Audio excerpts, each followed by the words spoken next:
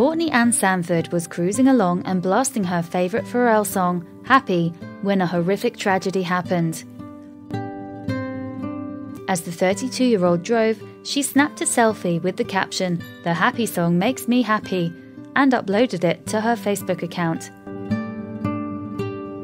In a split second, her car careened out of control into oncoming traffic.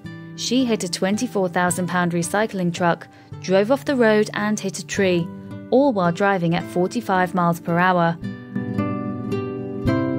Her car burst into flames and she died instantly. Investigators say the time the college graduate posted on Facebook and the time the fatal accident occurred were just one minute apart.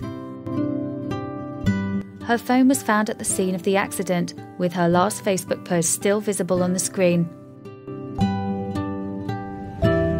Her parents are devastated. The college graduate had a promising life ahead of her in the healthcare industry, and it was all gone within seconds.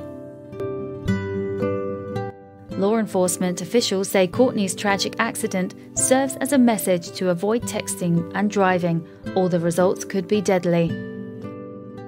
Texting while driving, it can wait. Your life is worth more than a text. This is Nikki Delgado for NollyGrio.com.